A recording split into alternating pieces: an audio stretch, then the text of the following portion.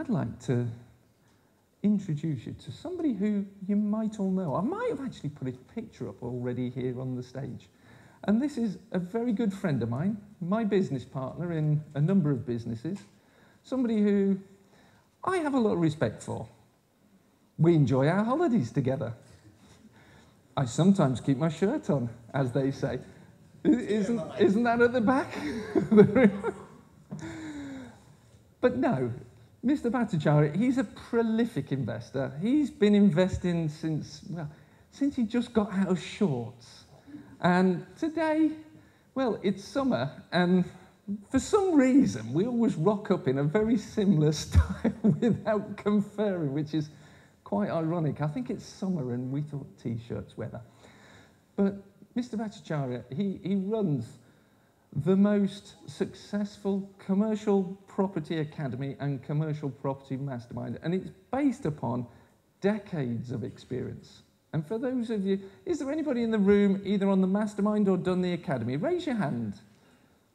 Wow, so it's probably 25% of the room. Shout out, useful or not? Useful. Okay, thank you. We're doing something right then. I had no idea what was coming at that point, but thank you. We work incredibly hard. When you come to the Baker Street, you get brand new virgin content every single month. When you come to the Commercial Property Mastermind or the Academy, it is brand new virgin content every lecture. There is no, no repeat of content. Everything is keeping you right at the cutting edge of your property game. So for somebody who's going to keep us at the cutting edge of our property game. Whoops, there we go. And he's going to talk about strategies that will work in a recession. Do you want to know what's going to work? Yes. Sorry? Yes. Do you want to know what's going to work? Yes. Thank you. Can we have a big, well, no, come on, get up, get some energy in the room. Stand up, everybody. Come on, stand up. Can we have a massive round of applause for Mr. Ranjan Bhattacharya? Um, thank you, guys. Listen, anyone guess what strategy I'm going to bang on about? Uh, anyone want to take a wild guess? Sorry? Oh, a couple of people mentioned commercial to Resi. Have you seen my slides? No, I am going to bang on about that, but I'm going to more importantly bang on about exactly why it's relevant for today. A um, couple of things I just wanted to mention. Um, Andrew's mentioned a couple of our sponsors. We've also got Property Investor News magazine. Uh, who subscribes to Property Investor News? Oh, a few of you. Well, you know, uh, Richard, there are plenty more people that probably need to subscribe. Richard, do you want to stand up?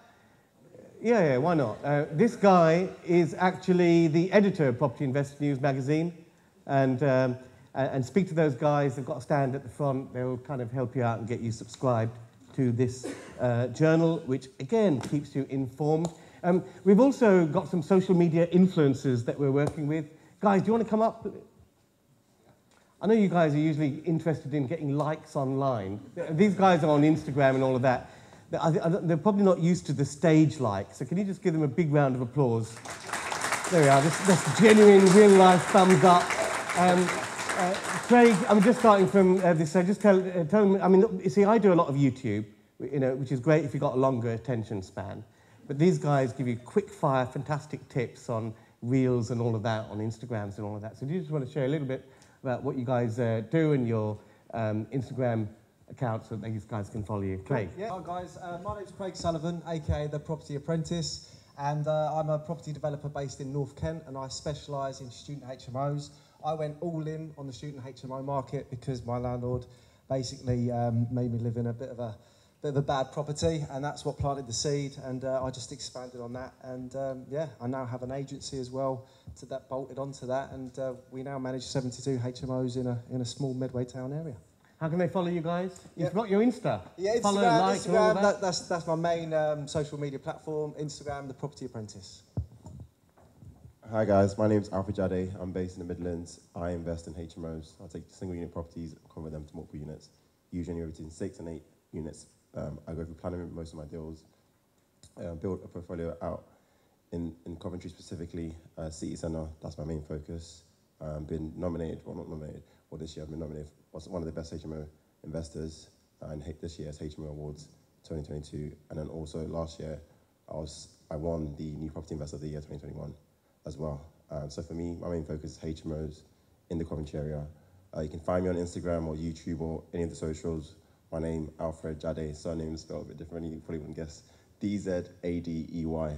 Uh, you can find me on the socials there. Hi, I'm Kazim Ali Balogan, or Kaz from Property by Kazi, a property investor and developer based in southeast London predominantly. Uh, get involved in a lot of different types of projects, but at the moment focusing on residential conversions, um, sort of my bread and butter. In terms of Instagram and YouTube, we're just sort of trying to you know, connect with a younger generation and normalize the conversations around ownership and property wealth, particularly from people from, you know, ethnic backgrounds. Um, Instagrams are property by Kazi, all one word, same as the YouTube. So we'll be, um, uh, uh, basically you, you, should be all following uh, at Baker Street Property Meet on Instagram. Uh, these guys will all be posting uh, on there and we'll share that so you can just uh, click on their profiles and follow those guys if you missed the spellings. Big round of applause for these friends of our meet. Thank you very much. I just want to share a couple of uh, facts, really, about the way the market's going to be for the next couple of years.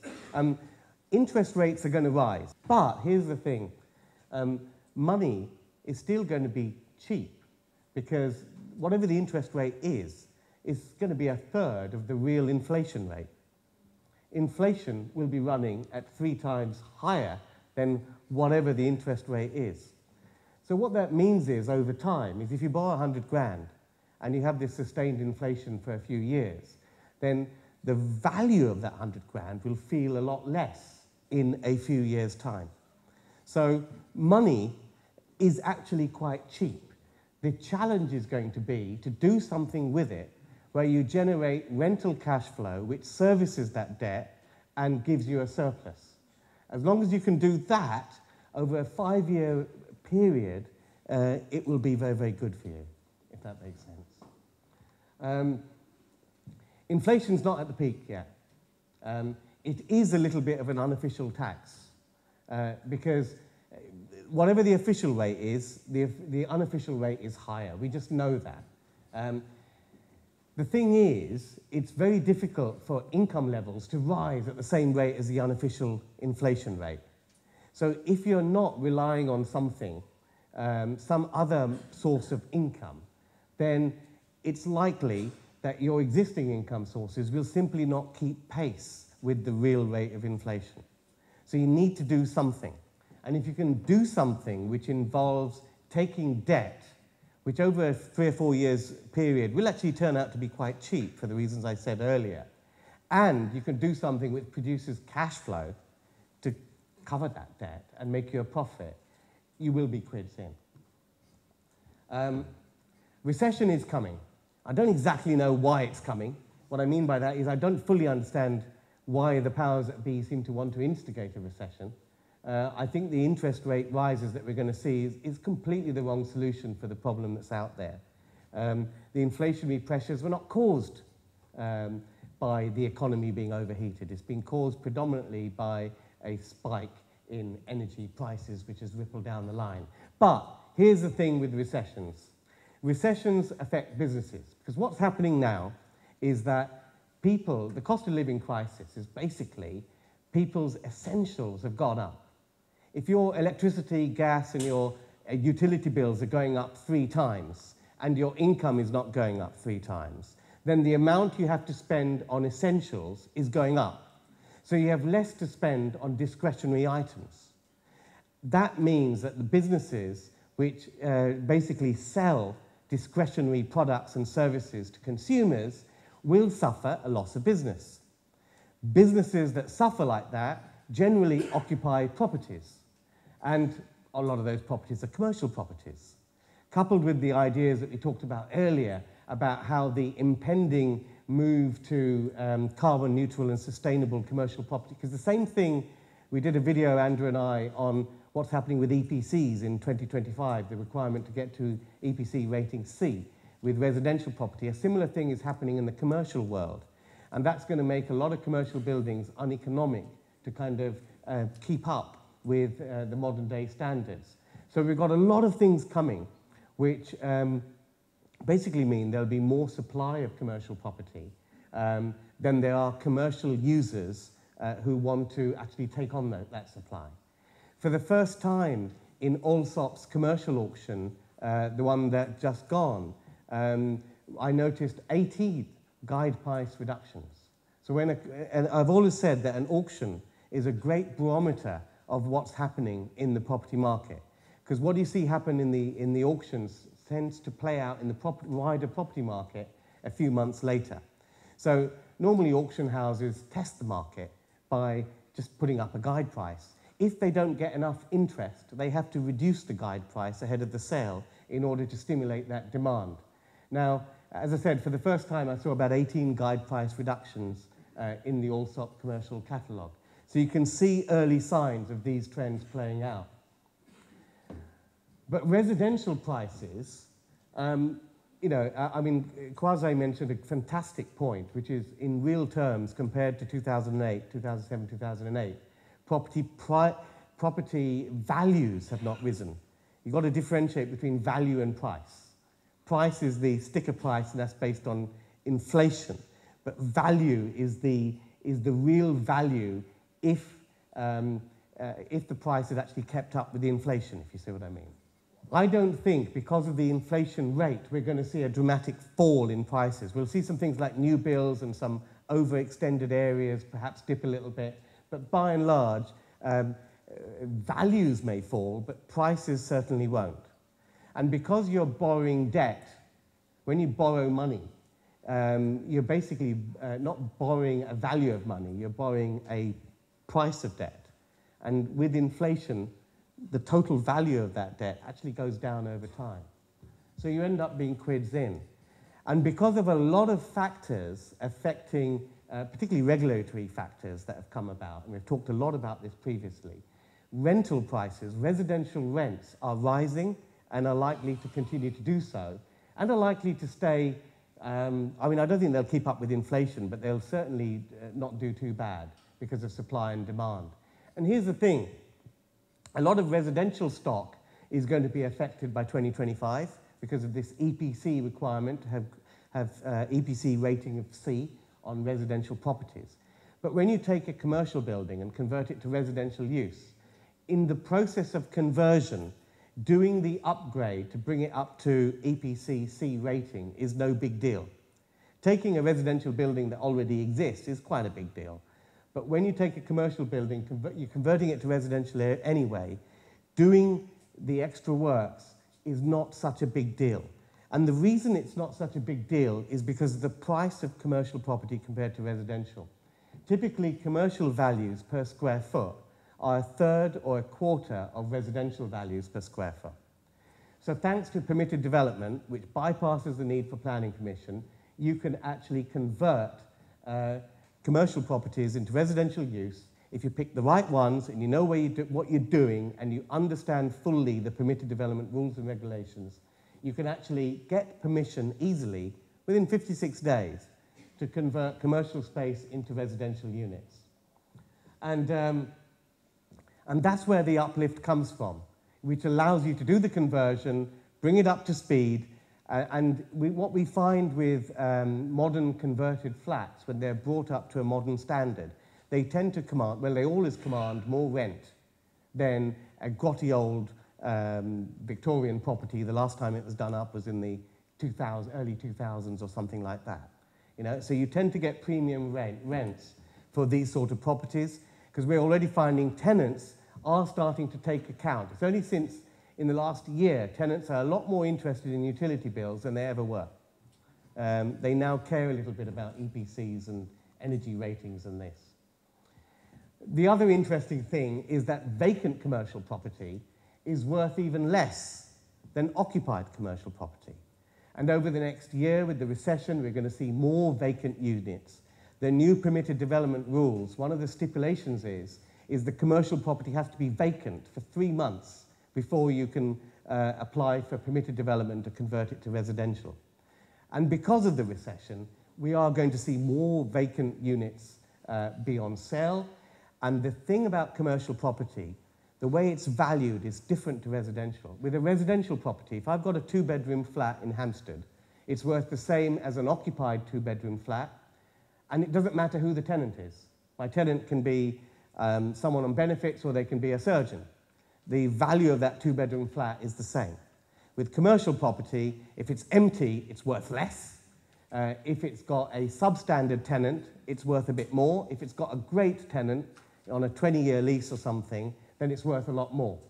Um, and that's because commercial property is not valued on a bricks and mortar basis, it's valued on the cash flow it generates. So vacant commercial property is always cheaper.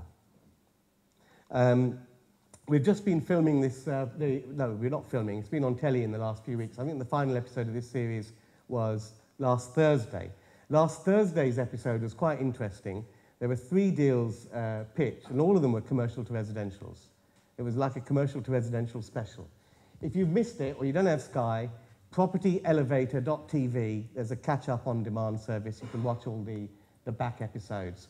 But um, in series four of Property Elevator, some 25 deals were pitched. Um, and I would say about 60% of them were commercial to residential conversion deals. Because those give you, um, or they're the most investable. They're the least risky because you, you know whether you're going to get the permission to convert it reasonably quickly. They take less time to execute than full planning permission type of deals because you can you get the permitted development in 56 days and because the building already exists and it's an internal conversion, uh, the time to actually do the conversion is less. So you're in and out of a deal in a year. And in times of recession, you want to be in and out of your property deal as quickly as possible. If you want, if you, if you, and you know, time and time on, um, on, on this series of Elevator, you see some people present a deal and they say, hey, this has got a 30% return. Great, but that's over three years. 30% return on a one year in and out deal is a completely different ballgame. Um, so it's about looking at uh, the longer the period to get your return, particularly in a recession, the more risk your exposure to. Um, particularly last Thursday's episode is very interesting. Three commercial to residential deals were pitched.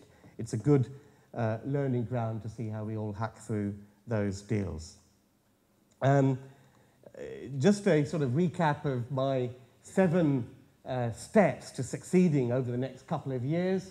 Um, what I found on Property Elevator um, in this season, pretty much anyone who was likable, um, investable, and presented a deal with 30% margin got funding um, for, for these sort of uh, commercial to residential deals. Uh, 30% um, margin is very, very important, and I'll come on to that uh, in a mo. I would make sure that all your development, uh, your figure, you do all your figures based on getting all your uplift out of permitted development alone. Planning permission is a pain in the ass, quite frankly. There's no guarantees, it can go on forever, and particularly if you're using things like bridging finance, um, it, you can really come unstuck and lose a lot of money for each month the deal goes through uh, without getting that permission. With permitted development, 56 days, they'll give it to you. Um, what I do at times like this is I tend to keep the stuff. So you, you buy vacant commercial, you convert it to residential, the business plan is to keep for long-term rental. Because in a time of recession, what you tend to find, the rental market goes up, selling can be a little bit dicey. If your exit is through selling on the units that you create, then remember, you only make your profit comes from selling the last 20% of units. That's when you've really paid anyone off and got any money. And that can take a little bit of time. But if your exit is renting the things out, uh, and the rental market's good, which it always is at times like this, it's likely to carry on so, uh, your, your kind of quids in. And this is why I like 30% margin. Because if you've got 30% margin in the deal, when you finish it, and you want to refinance it onto a long-term commercial mortgage, you can refinance the whole unit on a 70% commercial um, uh, uh, loan, and your 30% margin is the equity that you put into the deal. And if you're producing rental cash flow that is more than enough to sustain the debt, and you've fixed the debt for five years or more, That is the most surefire way of actually profiting from this recession um, and not just um, surviving it, but thriving it and coming up with some good assets. We're going to do a Q&A in the, in the panel. And um, the great thing about doing permitted development, you're in and out of these deals in a year, and you've got a good chance to rinse and repeat this strategy and do it a few times um, before the market changes. Um, we do a lot of education on this, which we teach this strategy, we show people how to do it. On the back of your badges is the QR code. I'm not going to bang on about it. There are loads of people that have done the course in the room. Um, it's an eight-week commercial academy where we, we, we, we basically tell you how to do this, and we have group coaching calls every week to help you implement it and apply it.